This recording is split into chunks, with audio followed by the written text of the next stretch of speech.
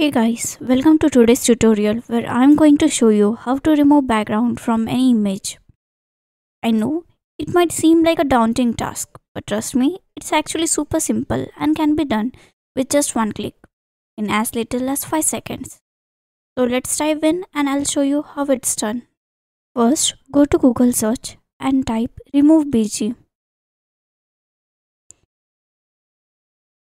Click on enter and click on the first link that will appear in the search results.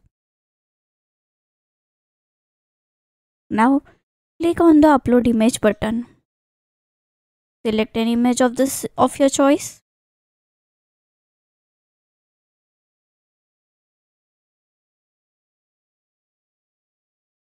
Once the image loads, it's ready to download and that's it.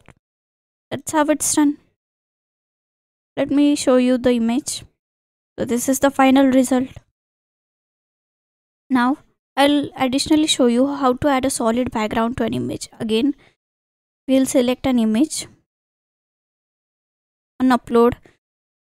Its background will be removed. You can see there's some kind of uh, background that is left. So let us go and erase it. So now that we have erased it let's simply go to background and select any background image of your choice. I think this looks pretty cool or maybe this one. You can explore a lot of options here.